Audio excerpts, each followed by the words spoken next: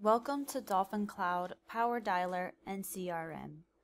First, I'm going to show you how to immediately start dialing in the fewest steps possible, and then we'll discuss some of the additional features and how to customize your setup. To use Dolphin Cloud, you must be using a Google Chrome browser. Enter the user ID and password you received via email to log in. You'll see a dashboard showing calls, statistics, users, and getting started items. You'll see a notification showing that you need to sign the electronic agreement stating you'll use the dialer legally. This only takes a moment.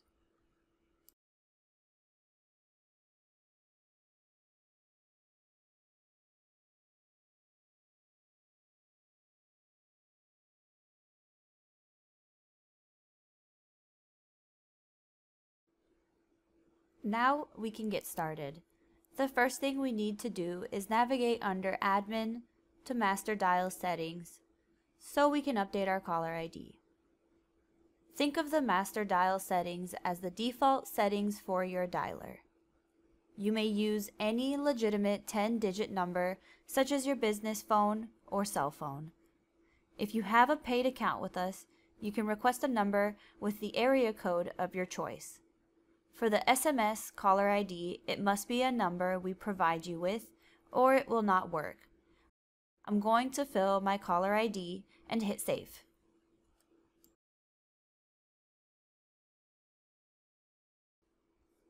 We'll discuss the relationship between campaigns, lists, and leads along with more of the settings in a few minutes. But for right now, let's move on so we can start dialing right away. Let's quickly add one custom field before we upload our leads. Navigate to Custom Fields. I will create a Number of Employees field.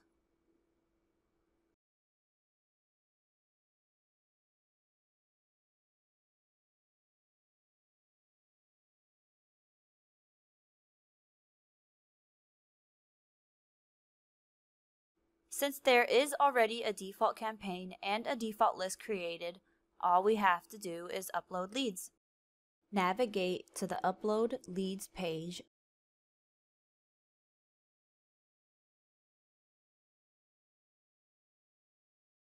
and then select the default list.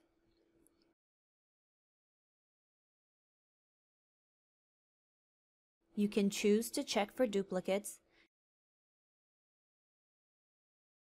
and then you'll browse or drag and drop your CSV file here. If your leads are in a different format, such as XLS, you'll need to convert them to a CSV file and we'll have a separate video on that. We recommend 10,000 leads or less, but if you have a large list, you can use our file manager to split it up. Map the headers from your spreadsheet to the fields in the dialer.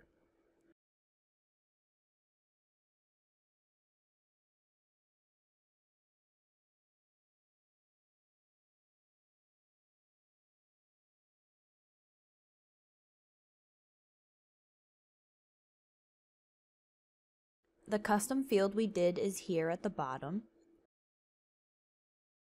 Now click Submit and the system will start the upload process. You can see the results notification here. Make sure you have a Bluetooth or USB headset plugged into your computer and are using Google Chrome. Let's start power dialing by choosing the default campaign under the Power Dialer dropdown. It will ask you to authorize the use of your microphone, which you must approve.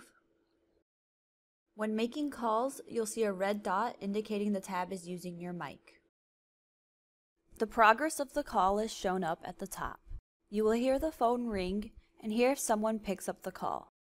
When the call is finished, click on the Hang Up button to bring up a list of dispositions.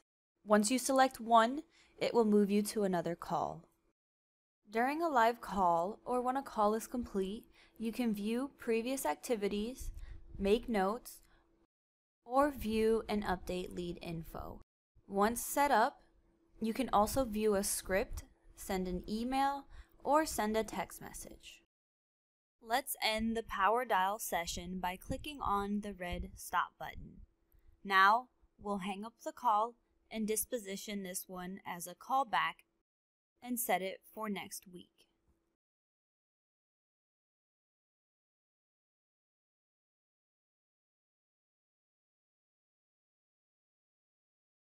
As you can see, we ended up on the leads view page showing the most recent calls we made. We'll come back here shortly, but let's go see where to view the callback that was just set. From here, you can see the due date of the callback, dial the lead, view the profile, or delete the callback. Now, let's set up a PAM recording so we can start dropping pre-recorded voicemails when we reach an answering machine. I will navigate to Admin, Audio Files, and add a new audio file, and then click to start recording. This is Melanie with ABC Insurance. It's very important that I speak with you right away. You can reach me at 555 555 5555. Now I'll name it and save it.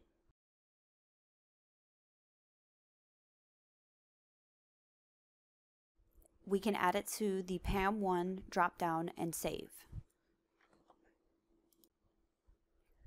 Let's go try it out. First, navigate to the CRM dropdown and then the View Leads page. From this page, you can view any lead profile or simply click the phone number to dial.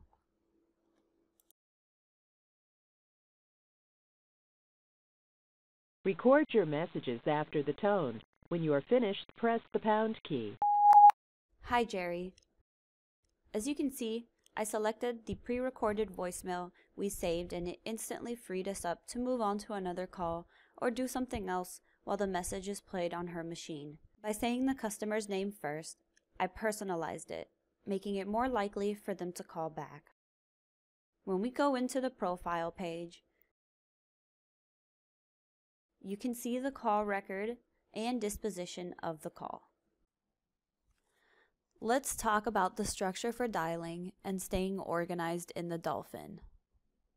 Campaigns allow you or your team to power dial with specific settings and lists.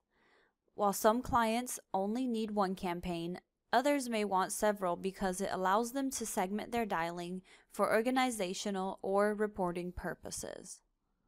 Lists are assigned to campaigns. You can think of lists as containers for your leads. Leads are uploaded onto your lists, and then lists are assigned to campaigns for dialing. A lead is simply an individual record with contact information.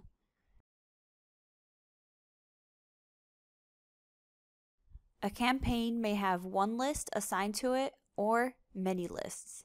Let's add a new campaign and discuss some of the important settings. Campaign ID must be 1 to 5 digits. I'll make this one 1001.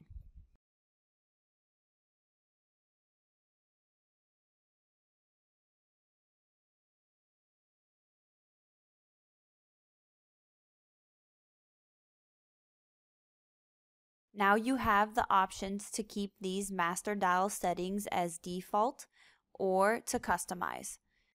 If I uncheck this box, I can adjust the caller ID, mode of dialing, script, recording options, or dial timeout. The dial timeout determines how long a call will ring in seconds before moving on.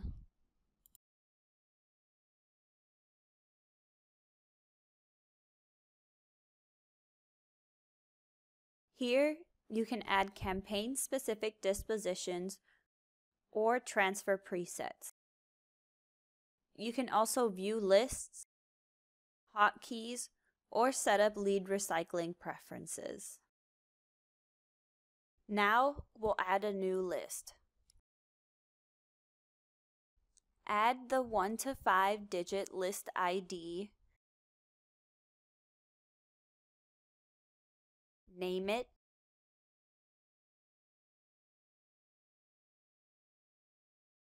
And then assign it to the campaign you wish. The reset times allow you to determine preset times for the list to automatically reset in order to call desired dispositions again, such as no answers or answering machines. On the list settings page, you can also reset the list manually when desired. There will be other videos that go more into depth on the following. Reports can be viewed or exported from this drop-down menu. Other important items such as users, scripts, and email settings can be viewed from the admin drop-down.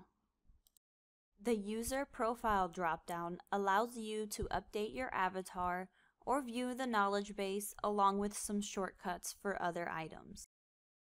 This concludes the Getting Started video. You always have the option to send an email ticket or call support if you need assistance. Thank you.